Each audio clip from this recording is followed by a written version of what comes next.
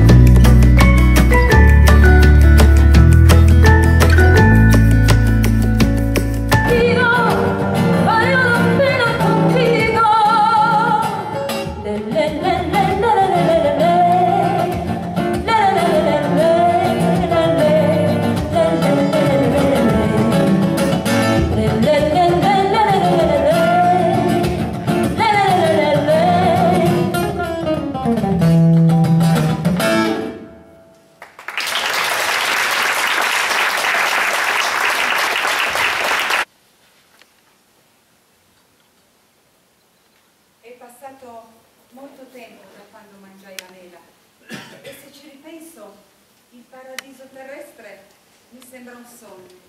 Era bello, era più che bello, era un incanto. Ed ora l'ho perso e non lo rivedrò più.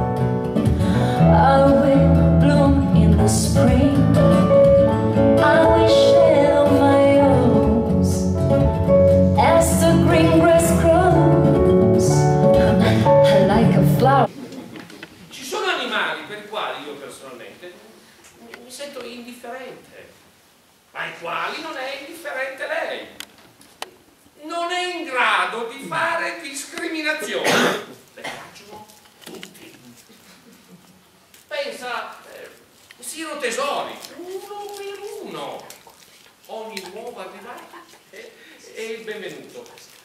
Per quanto poi mi, mi sforzi di impedirla questa faccenda di dare nomi ad ogni cosa, eh, va avanti ininterrottamente.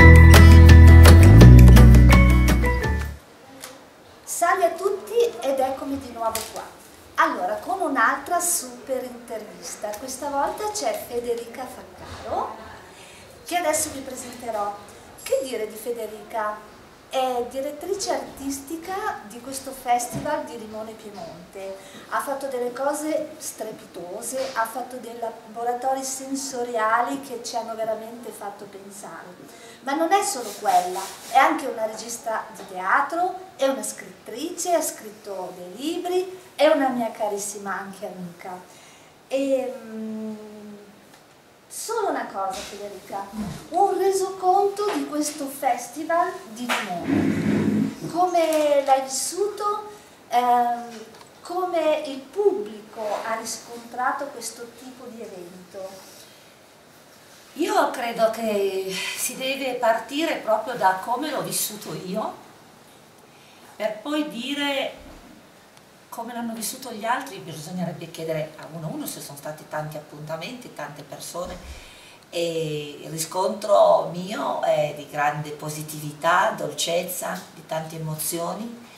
E, e mi sono ritornate non solo negli applausi, non solo nella frequentazione dei workshop, dei laboratori creativi, mm, ma proprio con lo sguardo, con la dolcezza, con, con quella parola che, che ti, ti, aiuta a continuare un percorso non facile, perché per arrivare a mettere insieme tutta questa manifestazione, insomma, c'è tanto lavoro dietro, però direi molto molto contenta dei risultati.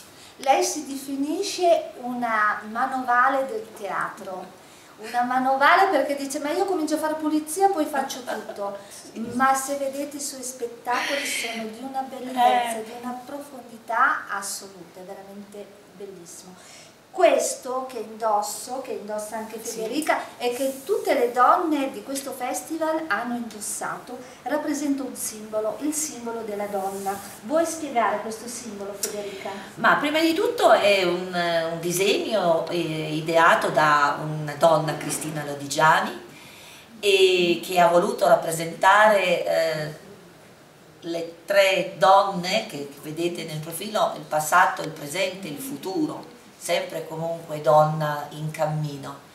E poi abbiamo aggiunto questa farfalla, che è qui, sì, eh, come segno di libertà, di capacità creativa, di accoglienza, di fantasia, di colori, mutevole e bella, eh, fatta poi realizzata eh, in modo tale da poter esibire veramente come una bandiera di gioia, di speranza.